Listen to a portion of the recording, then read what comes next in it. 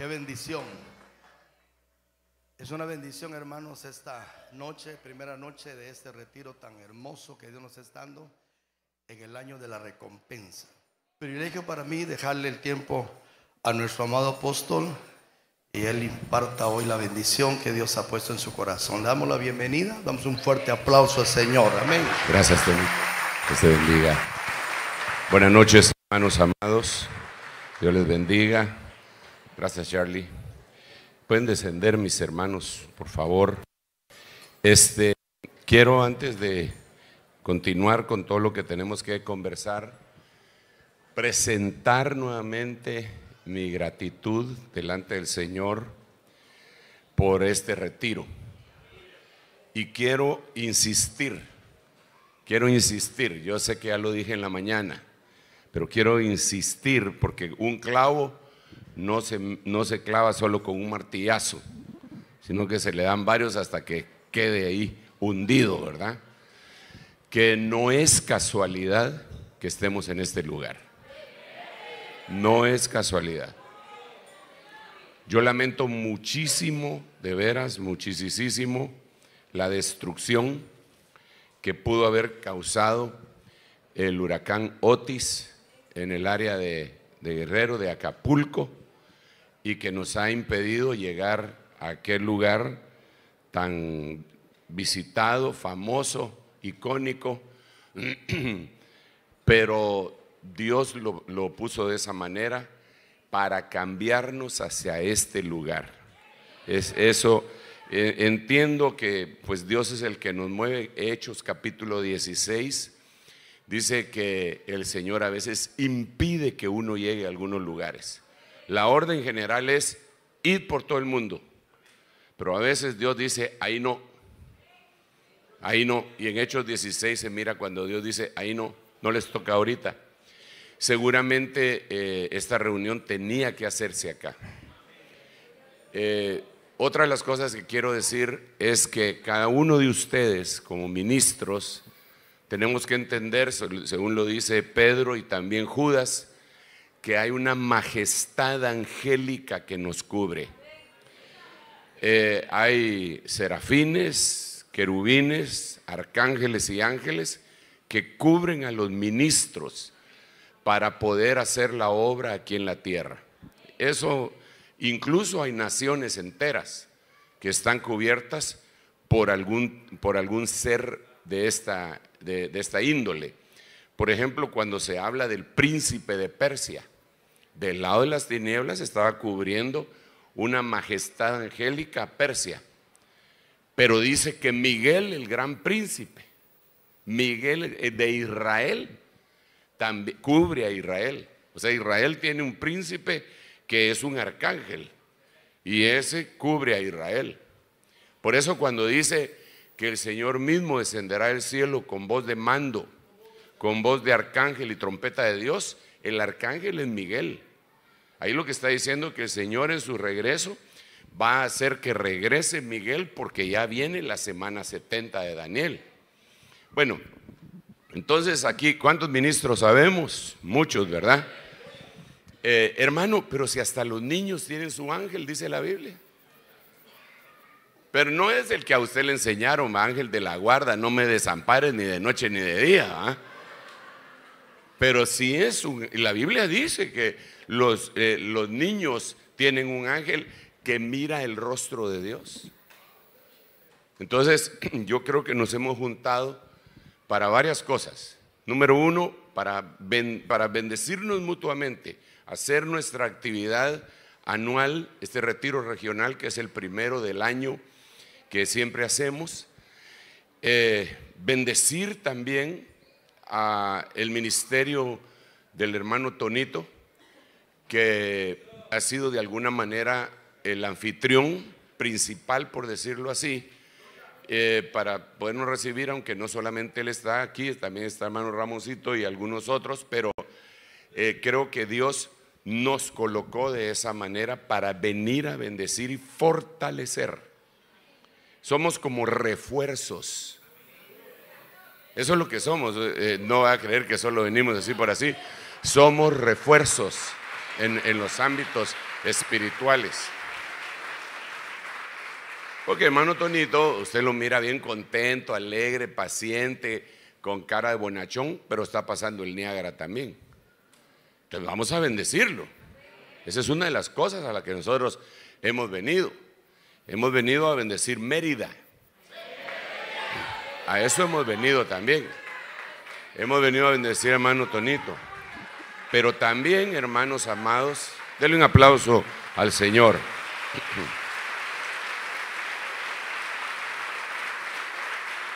También, y, no se preocupe que es parte de mi mensaje.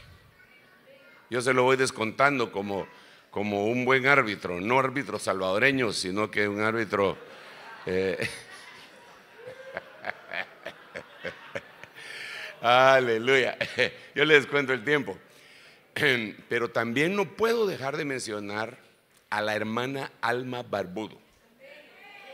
¿Por qué razón? Por muchas razones. En primer lugar, eh, nos une un vínculo ministerial eh, que muy pocos eh, tienen en el sentido de que mi apóstol, el doctor Otoniel Ríos Paredes, la reconoció a ella como pastora. Hace aproximadamente, diría yo, que unos 35 años. Y digo esto porque algunos que estuvieron con el doctor Ríos en el ministerio Selim Dicen que el doctor decía que no habían pastoras, que no hay pastoras. Y la hermana Alma es testimonio de que sí hay, puesto que el Señor le dio estas instalaciones. Y es testimonio que también el Señor la bendijo reconociéndola por medio de un apóstol genuino, como era nuestro amado doctor Otonel Ríos Paredes. Eh, la hermana Alma Barbudo eh, nos ha facilitado esta, e, estas instalaciones para que podamos llevar a cabo este retiro. Ella está con nosotros directamente en la cobertura con hermano Tonito, es parte de nuestra familia ministerial.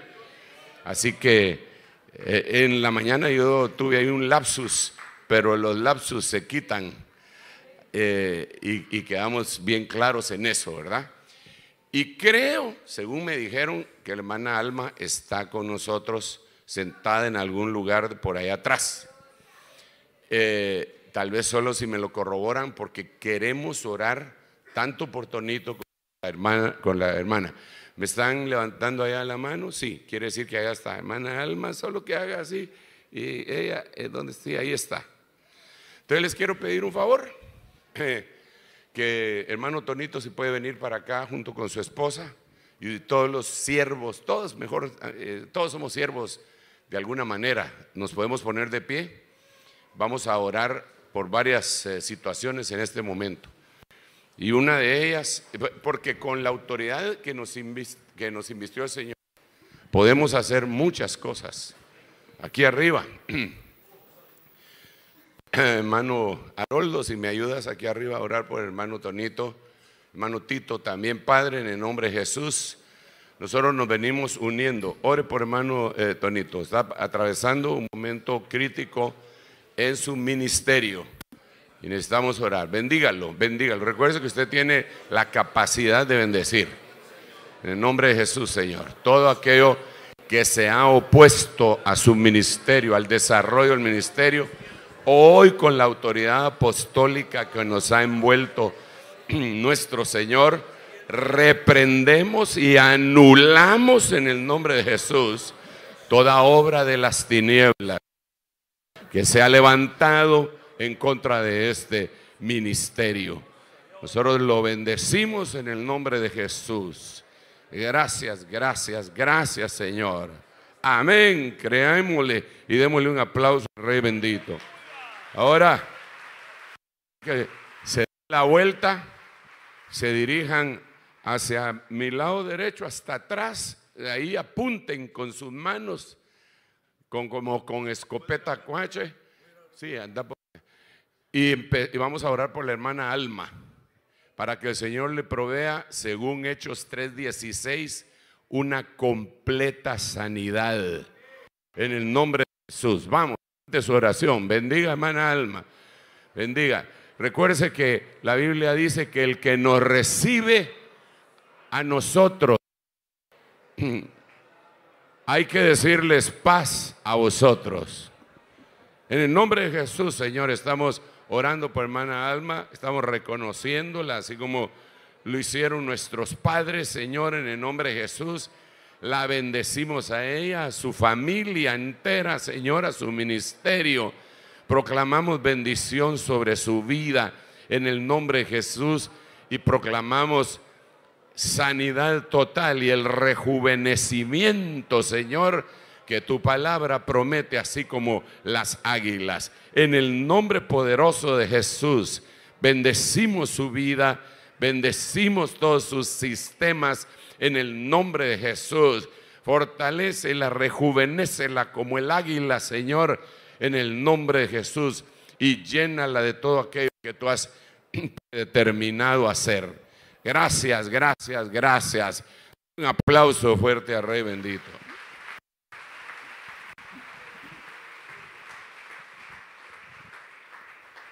Aleluya. Puede tomar su lugar. Eh, es muy importante esto. Vamos a ir viendo cómo que a veces se entrecorta la cuestión del micrófono.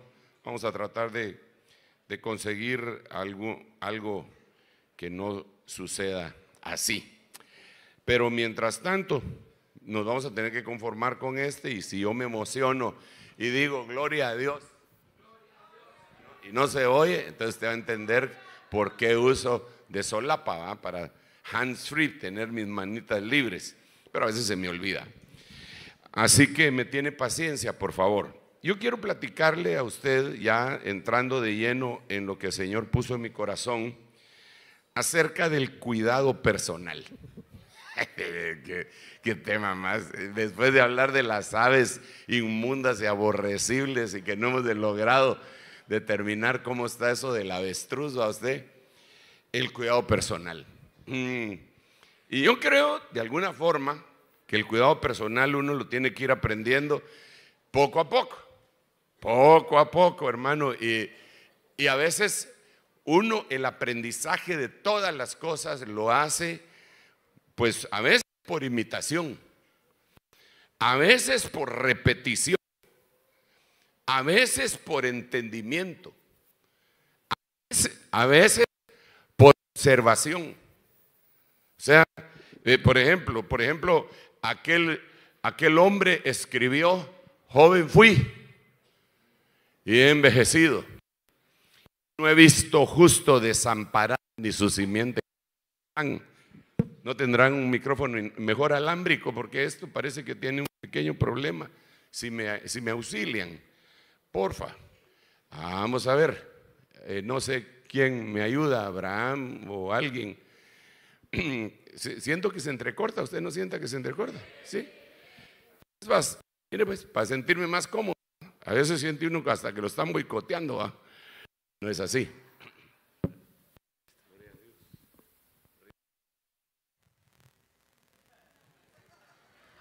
Gloria a Dios. Bueno, espero que se oiga.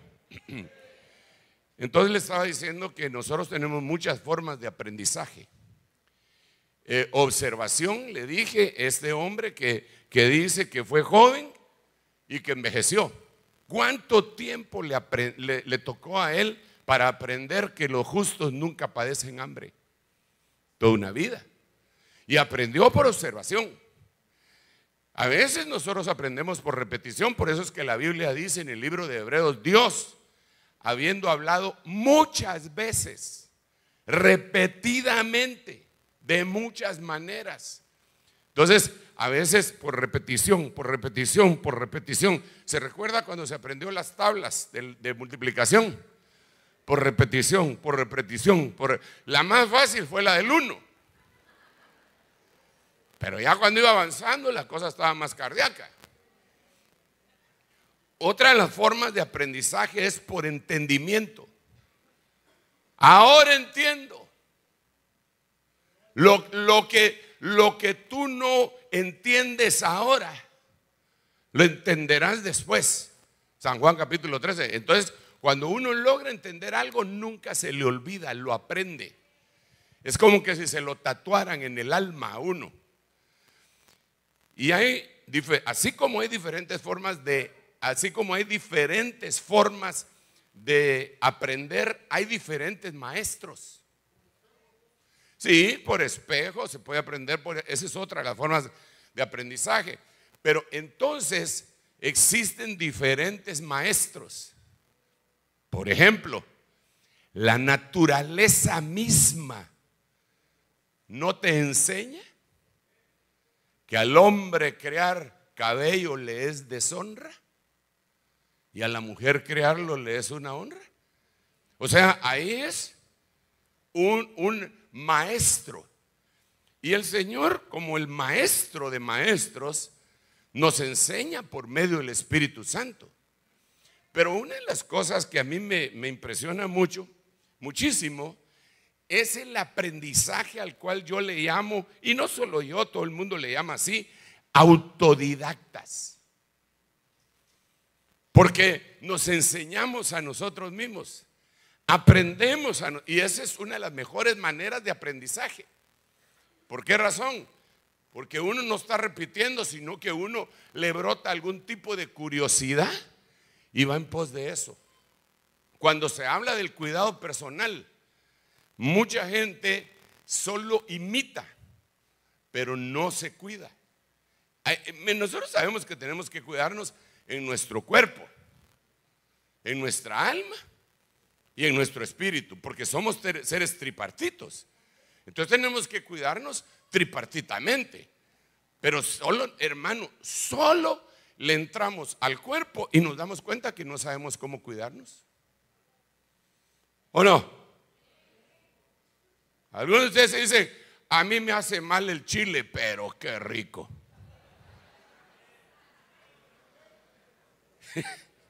y ahí está soñando que tiene agruras y que tiene el infierno en el estómago.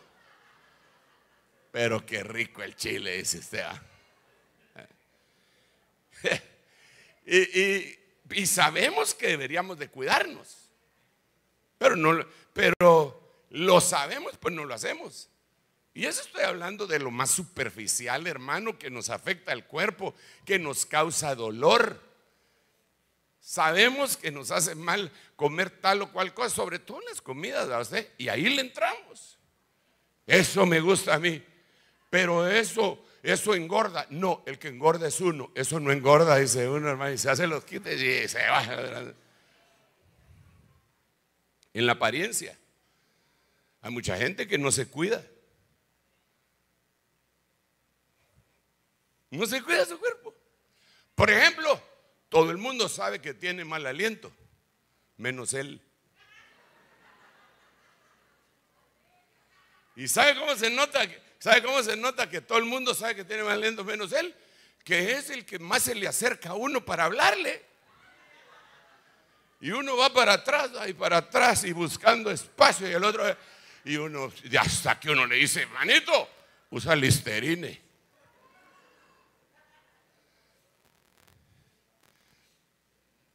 Dicen por ahí los que saben que por lo menos una vez cada seis meses deberíamos de ir al dentista. Así dicen los que saben, usted cada cuánto va.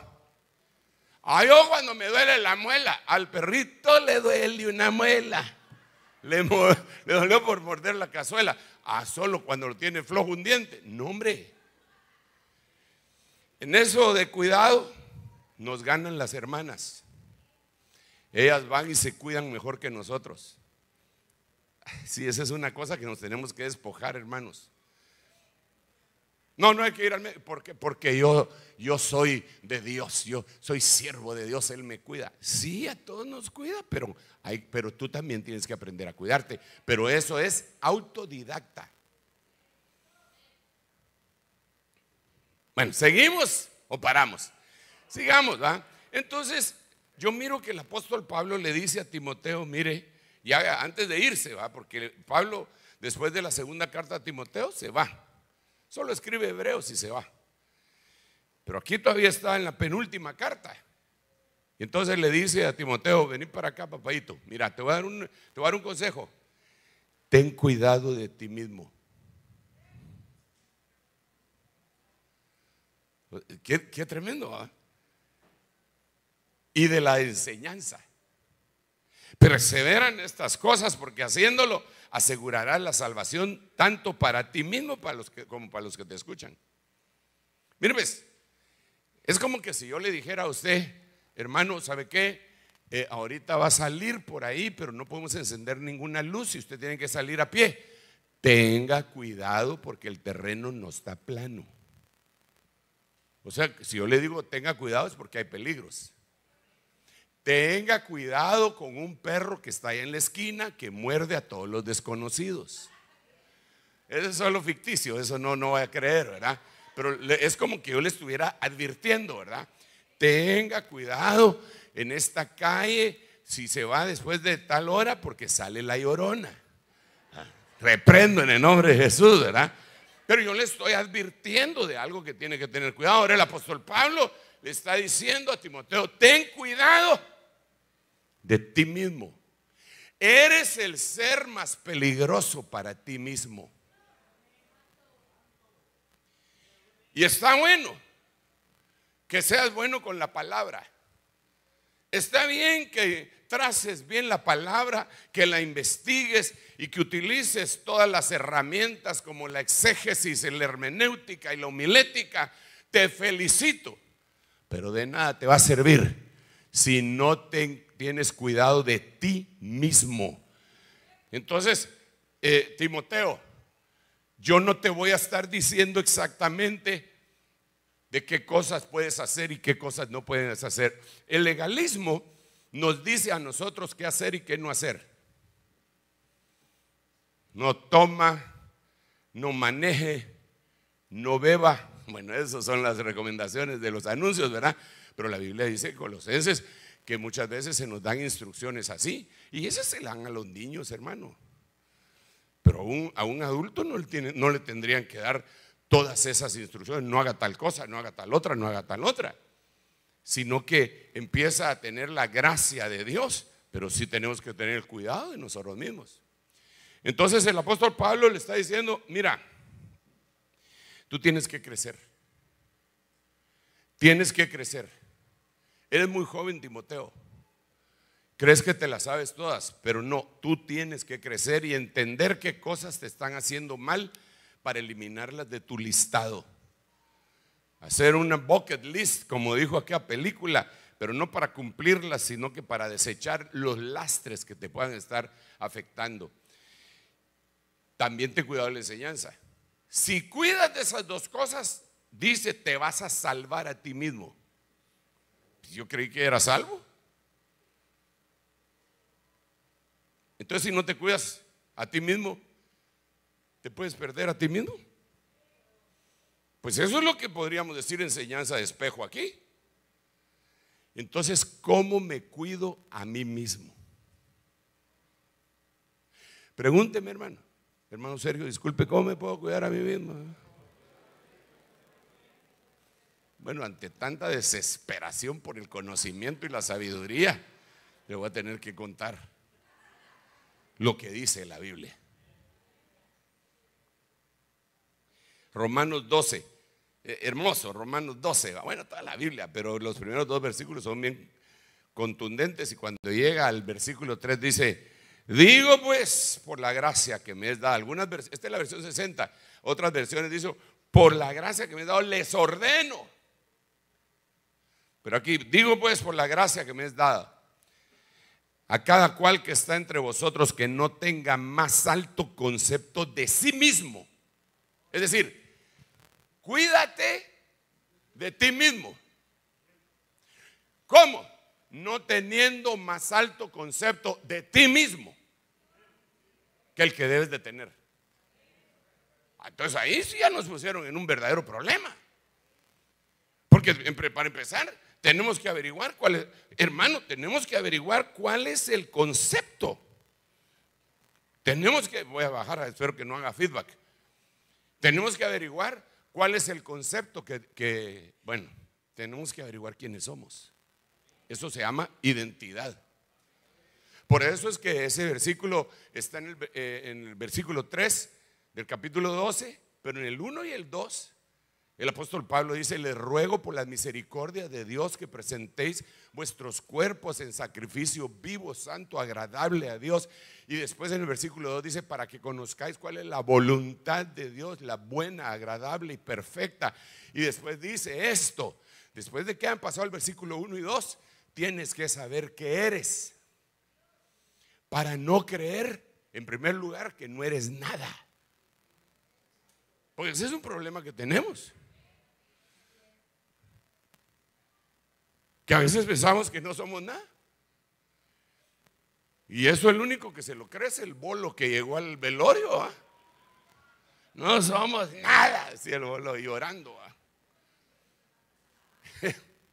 El borracho ese. Pero tú qué eres? ¿Quién eres tú? Hermano, dime, ¿ya descubriste quién eres tú? ¿O no has descubierto quién eres tú? Dime quién eres en tú. Tú, entonces. ¿Quién? Bueno, para empezar, eres un hijo de Dios. Ah, ah, soy parte de una nación santa, no de una secta. ¿Qué más eres? Eres un real sacerdote. Quiere decir que está mezclado, si me permites utilizar la palabra mezclar, el reino, la realeza con el sacerdocio. Jala, hermano, qué tremendo. ¿Qué pasaría? ¿Qué pasaría si de repente se te presenta un abogado de que mide dos metros, rubio, de ojos azules, tocando, llamando a la puerta de, tu casa y te dice, hemos descubierto que usted es en la línea eh, ascendente el único heredero del rey de Holanda.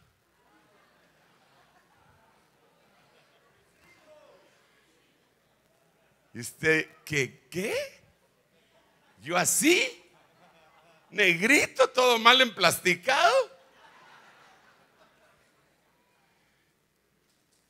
¿No lo creería? Difícilmente.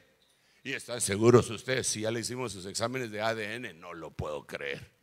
¿Y qué salió? Que usted es. No puede ser. Vaya, ya le hicieron su examen de ADN genética del cielo y se determinó que usted pertenece en línea ascendente al Rey de Reyes y Señor de Señores y que es sacerdote del Dios Altísimo, imagínese usted. Pero mire, ve, mire, mire, mire, hermano. Pero no nos comportamos como reyes a veces.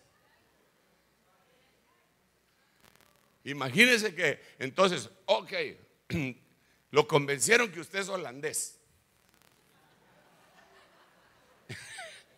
Usted se va para allá. ¿Se imagina el primer banquete? Para empezar el idioma, vamos. Ah, ahí tendrías que aprender en el grupo Shama, lenguaje de señas y decir que sos mudo.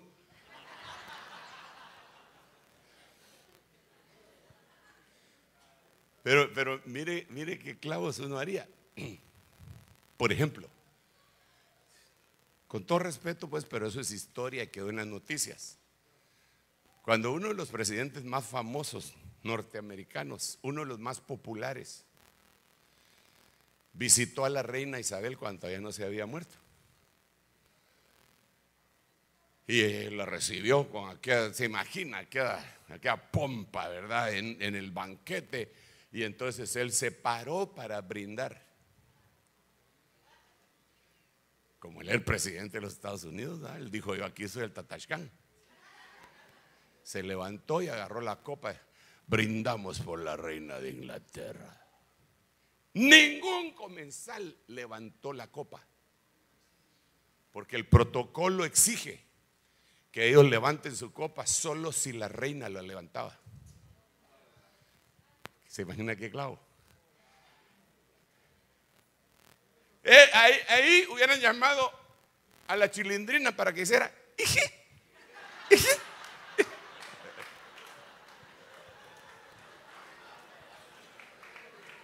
Ahora, nosotros éramos paganos, alejados de los pactos, sin Dios y sin esperanza. Y de repente su sangre nos limpia y nos hace reyes y sacerdotes. Que entender que hay una identidad, una identidad. Nos tenemos que comportar como tal.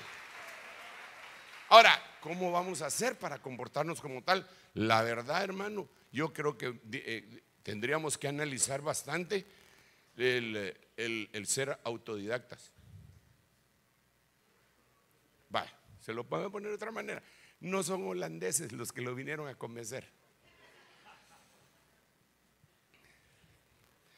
Pero lo invitaron a cenar, una cena de gala, la sociedad, la crema y nata de Mérida. Y usted se sentó a cenar. Y lo primero con lo que se encuentra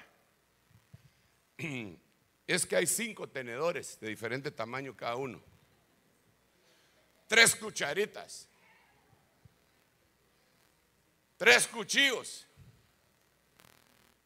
Y usted dice, ¿qué hace? Dígame, ¿usted qué hace?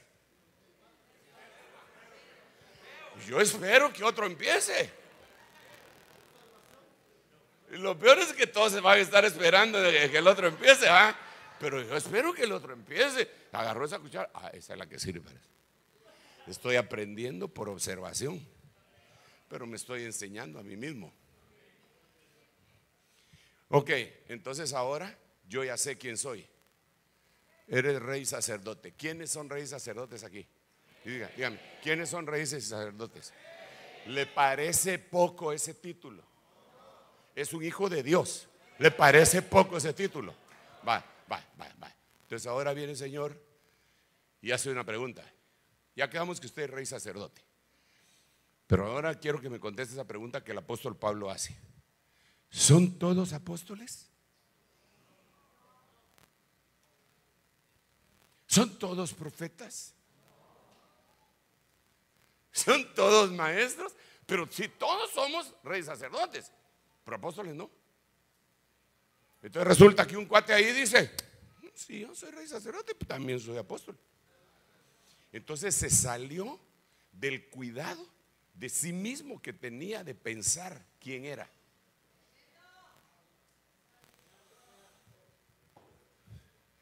Exacto, dejó de pensar con cordura. Y empezó a decir, sí, entonces, ah, yo también, yo soy también. Y, y lo primero que hace, si, si era columna en una iglesia, lo primero que hace es, esto está fácil, yo consigo una mesita, una bombilla y un, para, y, un nylon para taparme del... Aunque aquí, hermano, con este calor no hay problema, solo la mesita y la bombilla. ¿ah? Un par de sillas y, y junto a un montón de gente, porque yo también soy pastor y no es pastor.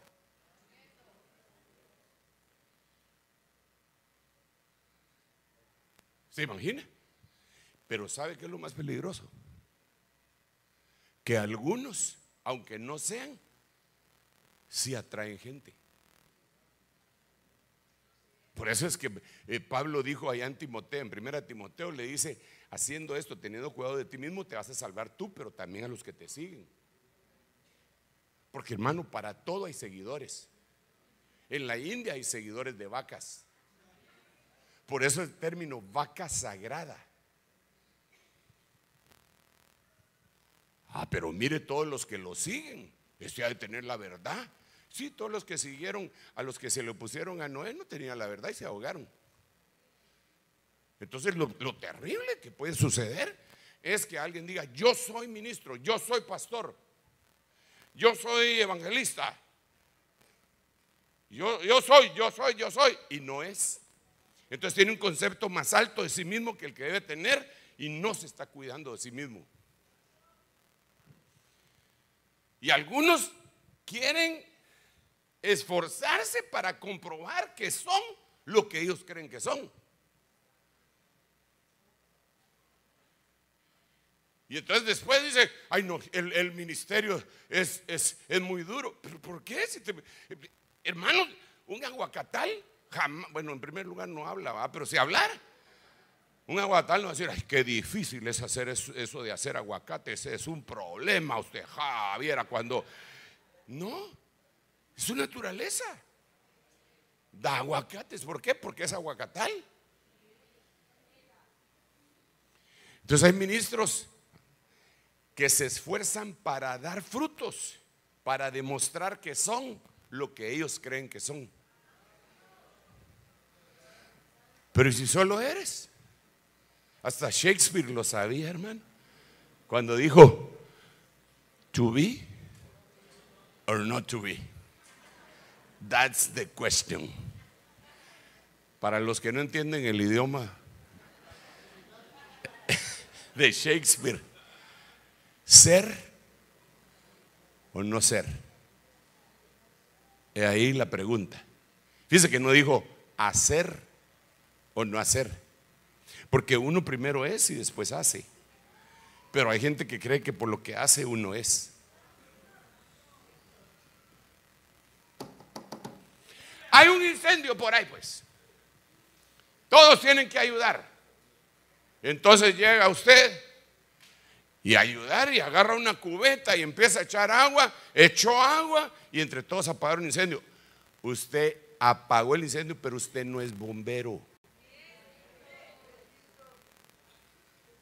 Si se cree bombero porque apagó un incendio, se va a morir quemado. Porque ellos tienen que tener un, un entrenamiento especializado. Ellos tienen que saber cómo se produce un fuego, cómo se puede inflamar un fuego, cómo se puede apagar un fuego. Ah, pero uno como echó agua. Si hay mucha gente así, que uno le da un tirito en el púlpito y ese día les fue bien. Y la gente le decía, gloria a Dios, aleluya. Y él dijo, Dios, al pastor nunca le sacan tantos aleluyas como los que yo saqué aquí. De plano que yo soy pastor.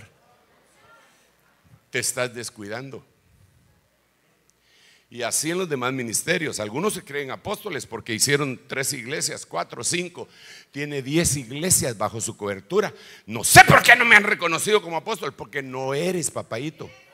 O no es tu tiempo todavía.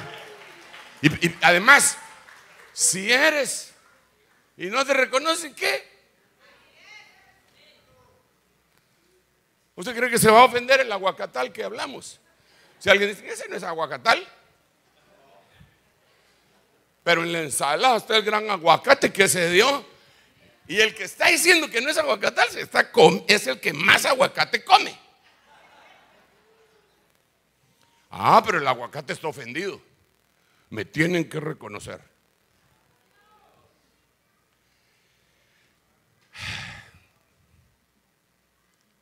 Haceme un favor, Padre Santo. Me faltan unos cuantos minutitos, gracias a Dios. Tenemos tiempo todavía.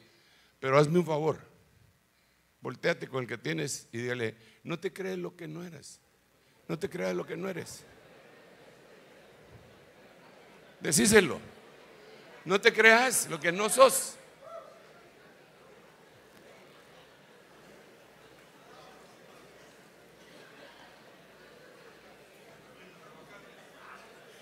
No sos aguacate.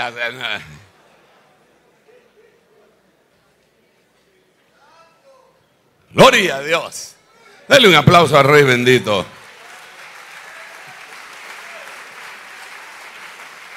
Otra vez con Timoteo. Otra vez con Timoteo. Pero nada tengas que ver con las fábulas profanas propias de viejas. Pablo, ese fue Pablo, fue Pablo. Que yo me lo deleite leyéndolo son otros 20 pesos, pero el que lo escribió fue Pablo. ¿ah? pero miren lo que dice a continuación. Más bien disciplínate a ti mismo. Entonces, ten cuidado a ti mismo. ¿Cómo? no teniendo un pensamiento de ti mismo más allá del que debes de tener, ni menos tampoco. Porque si no vas a ser acomplejado. Pero disciplínate a ti mismo. Disciplínate para la piedad. Écheme una mano para predicar por el amor de Dios.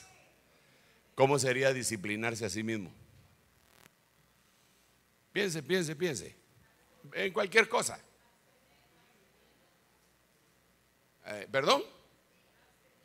Absteniéndose. Sí, la abstinencia es parte.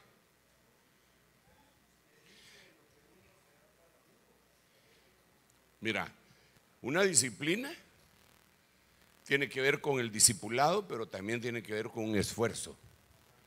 Por ejemplo, me voy a disciplinar. Este año de la recompensa, dijiste el 31 de diciembre, me voy a levantar todos los días a orar a las 4 de la mañana.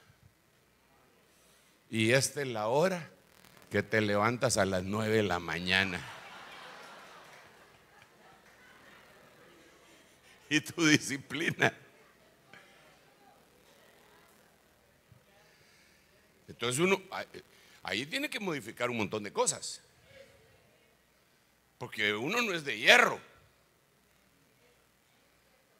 Entonces tú tienes que decir, ok, mañana voy a venir a las nueve en punto de la mañana, me voy a gozar todo el tiempo y no voy a estar cabeceando cuando esté predicando el hermano Sergio.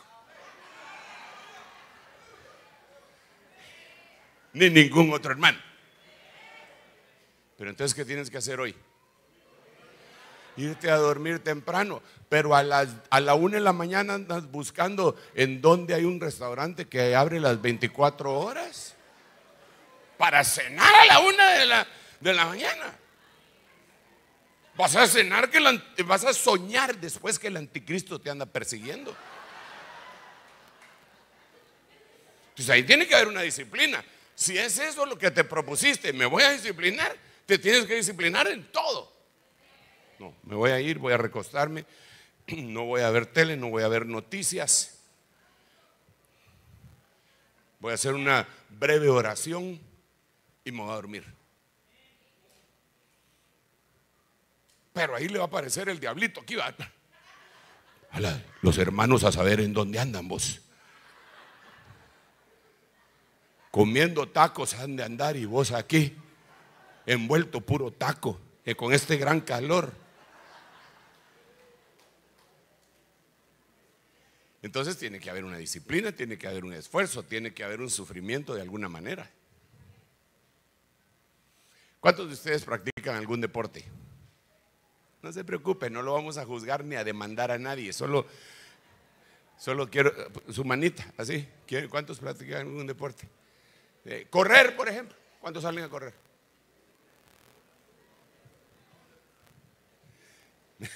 ya me voy a disciplinar, dice. No, yo, yo, no, no, es para criticar, solo estoy para ponerle ejemplo. Yo no corro. Se nota, pues, pero no. Pero, pero a lo que voy es que en algún tiempo sí, me había autoimpuesto. Entonces yo decía, no, me tengo que levantar a tal hora, porque a tal hora me tengo que bañar, tengo que estar en el trabajo a tal hora. Así que, tempranito, tempranito. Y una, tenía que ser una disciplina. El despertador, al principio se tiene que volver un enemigo de uno. Pero ya cuando va pasando el tiempo, te despiertas 5 o 10 minutos antes. Y ya vas para arriba. Entonces ahora aquí dice que te disciplines, pero para la piedad. O sea que no cualquiera puede ser piadoso de primas a primeras. ¿Quién quiere ser misericordioso? ¿Quién quiere ser piadoso? Pues todos. Pero esto no es esto no es un don. Es una disciplina.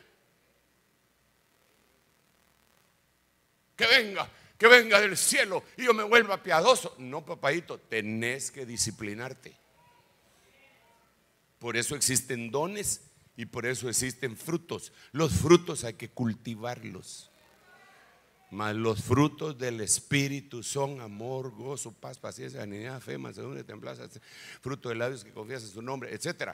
Pero, pero entonces quiere decir que el amor, fruto, se tiene que cultivar.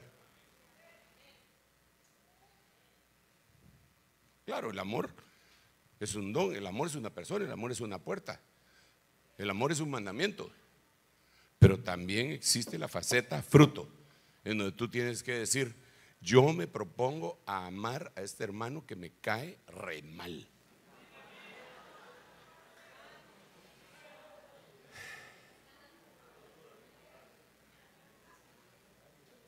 ¿Cómo lo vas a amar?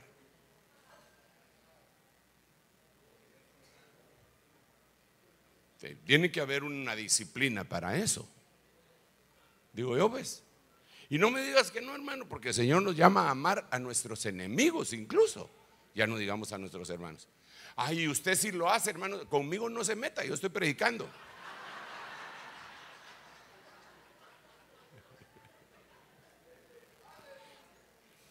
Disciplinémonos para la piedad voy a hacer un esfuerzo, voy a, callarme estas cosas que se me vienen a la... Porque a veces, hermanos, somos una chispa, es lo que necesitamos, burbujeantes, prontito.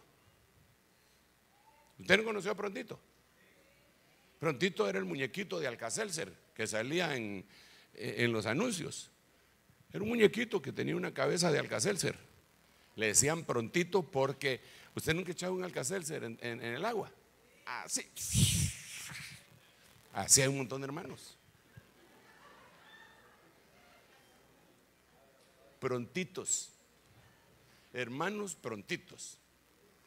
Entonces hermano prontito debe decir, me voy a aguantar.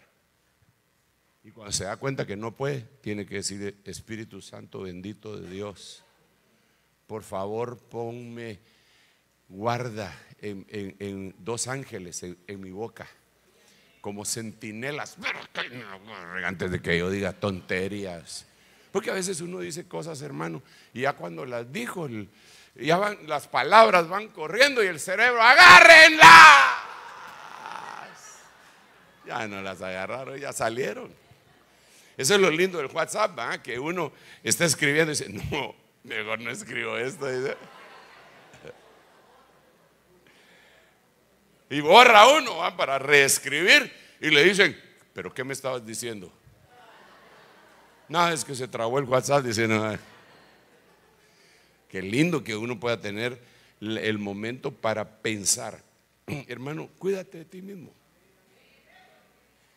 Dile, ti mismo molestas mucho. Mire este, este es bien tremendo. Estamos hablando de cuidarnos a nosotros mismos, ¿verdad? Gálatas 6.1, hermanos, aun si alguno es sorprendido en alguna falta, vosotros que sois espirituales, ¿cuántos espirituales hay aquí? Aleluya. Restauradlo en un espíritu de mansedumbre, mirándote a ti mismo. Cuídate de ti mismo. Lo que quiere decir es, cuando vayas a emitir un juicio de otra persona, piensa que lo estás emitiendo de ti mismo. No sea que tú también seas tentado. Yo siempre me he preguntado, si David hubiera sabido que Natán estaba hablando de él, de sí mismo, ¿Cuál hubiera sido el juicio de David? Beneolo. ¿Qué calcula usted que hubiera dicho? Bueno, pues mira, Natán, realmente Dios es bueno vos. El otro cometió error y alguna indemnización que le paguen, va, eh, pero es que no se puede porque lo mataron. Sí, hombre. Ay, Dios mío, no sé qué podemos hacer llame a la junta de sabios para ver cómo le hacemos misericordia a este hombre, porque está hablando de él. Pero cuando te llegan con otro caso y tú no piensas en ti mismo, así es un desgraciado depravado, ese, ese hay que mutilarlo. Y está hablando de sí mismo.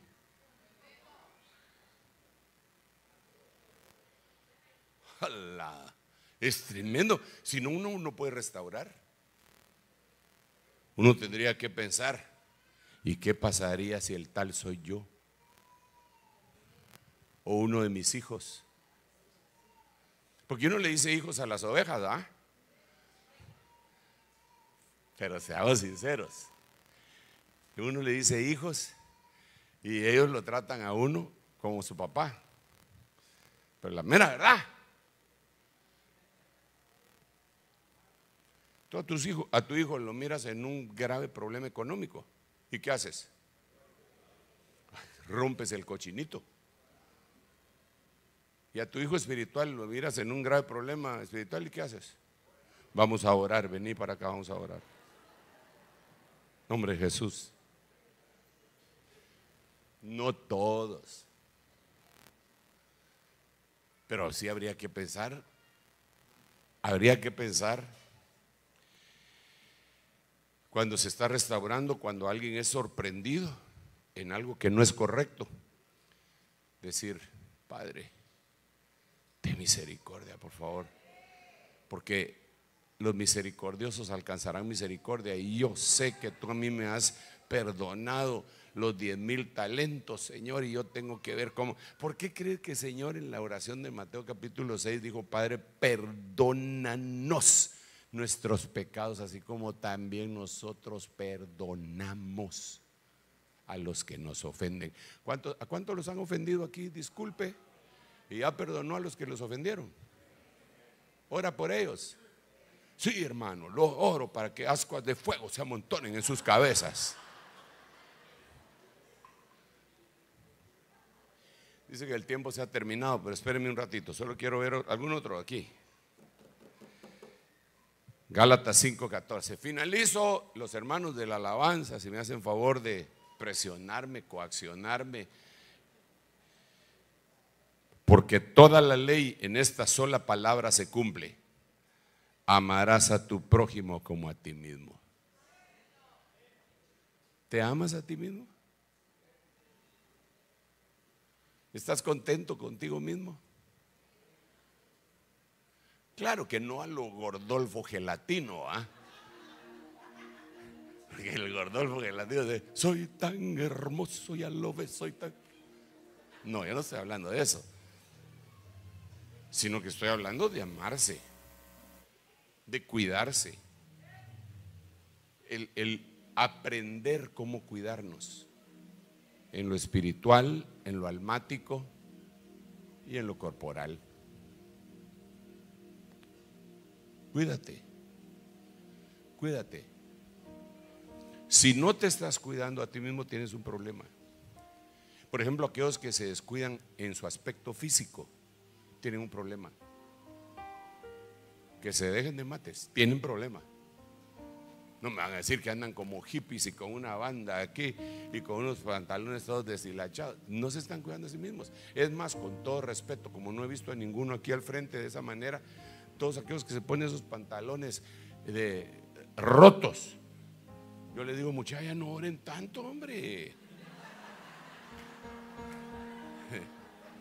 No oren tanto, tienen los pantalones rotos. Pero yo a veces, no estoy diciendo que así sea, pero a veces pienso, ¿y no será que este con su, con su vestuario está trayendo un espíritu de miseria y pobreza? Y de desorden. Pero tal vez es mi formación, hermano, porque como cuando yo era niño y jugaba fútbol, llevaba los pantalones de lona, que de, de, veras de lona, todos hechos pedazos a la casa, y, mi mamá los surcía. Y entonces ahí andaba roto y remendado. Y bien limpio el pantalón. Y yo, bien cuereado. Ya cuando las cosas se ponían más delicadas, Mi mamá conseguía parches de cuero y se los ponía aquí y, aquí. Ahora en el blazer se ponen los parches de cuero los hermanos, pero porque son codos.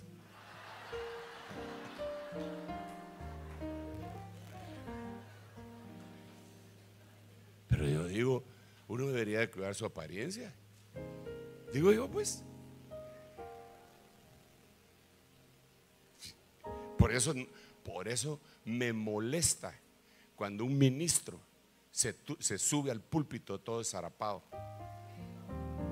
Ah, como así son los jóvenes. Son así porque no les enseñaron los viejos. Con la camisa de fuera. Ahí espero que ninguno ande así ahora. Ah. Con la camisa de fuera. Con que fuera talit. Camisa de fuera. Sintiéndose jóvenes. Y están viejos.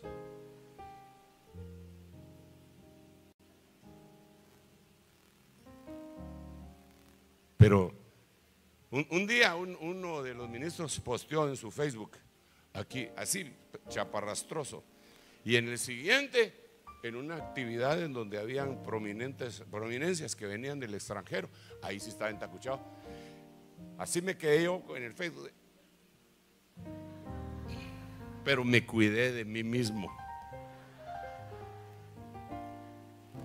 Pero yo le iba a decir, cuando vienen extranjeros, si te pones presentable, ¿ah? Pero cuando vas al culto a adorar a Dios, no, ¿ah? No importa, ¿cómo es Dios? Y Él es buena gente. Bueno, cuídate de ti mismo. Entonces, para cuidarme de mí mismo, voy a parar ahorita. Porque creo que me estoy excediendo, pero solo quiero ver si no tengo otro. La fe que tú tienes, guárdala para ti mismo ante Dios. Dichoso el que no se juzga culpable a sí mismo en lo que decide. Ya no voy a predicar, solo voy a leer. Uy, esto está cardíaco. ¿Tú qué enseñas? A otro. ¿No te enseñas a ti mismo? ¿Tú qué le enseñas a las ovejitas que hay que diezmar? ¿No diezmas? Para no decir, como dice acá, ¿va? Porque aquí lo que dice, tú que predicas que no se debe robar, robas. Mejor dejémoslo ahí. Digámosle al hermano que tienes a la par, hermano, cuídate de ti mismo y ora por mí para que yo también. Padre, te doy gracias por esta noche tan linda, tan hermosa. Señor, yo sé que en medio de nuestras palabras. La palabra tuya prevalece y la unción tuya también. Y por eso yo te pido hoy que tu palabra venga y se clave en nuestro corazón, Señor. Aquella palabra rema, aquello que proviene de tu, de tu corazón, para que nosotros, Señor, aprendamos como autodidactas en el nombre de Jesús. Bendigo a cada uno de mis hermanos que se han hecho presentes esta noche. Síguenos bendiciendo, Señor, por favor, en el nombre de Jesús, con todas las cosas lindas que tú traes para bendecirnos. Con esa recompensa, Señor, en este año de recompensa. Gracias, papá, en el nombre de Jesús. Amén, amén y amén. Dale un aplauso al Rey bendito.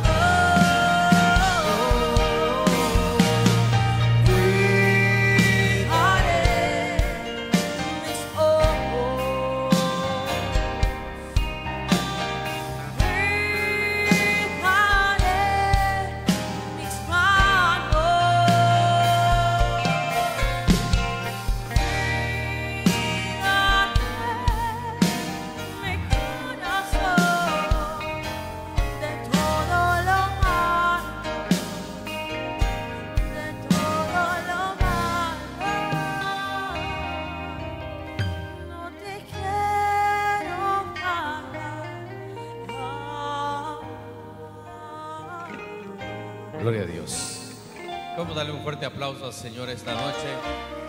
Agradecidos por todo lo que el Señor ha hecho en este día. Déjenme recordarle algo. Nuestros hermanos acá de Iglesia Donai han preparado cena para los que quieran ahí eh, poder pues, ayudar a esta.